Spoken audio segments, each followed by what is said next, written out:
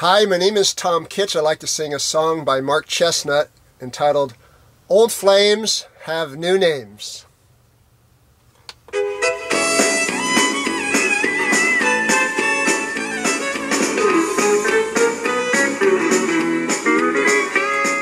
I left town two years ago and moved on up to Idaho, but swore that I'd be back again, pick up where I left off, old man. Left behind some lovely ladies, grown up sexy Texas babies. I got back in town tonight, anticipating much delight. I pulled out my black book and called up my old lovers. But I got five newlyweds and two expectant mothers. All my old flames have new names.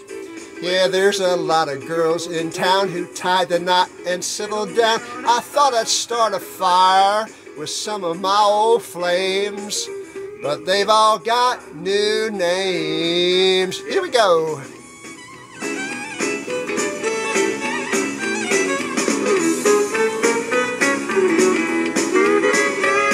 My sexy little dirt road sport is now called Mrs. Davenport. My pretty little black-eyed Susie is now Miss Susie Vanderhoosie. Rosie, who couldn't blow my mind, is now Sister Rose on Channel 9. The wildest lover of my life is now a federal judge's wife.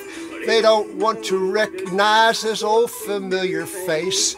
I'm just a bad reminder of their wild and woolly days. All my old flames have new names. Yeah, there's a lot of girls in town who tied the knot and settled down. I thought I'd start a fire with some of my old flames, but they've all got new names.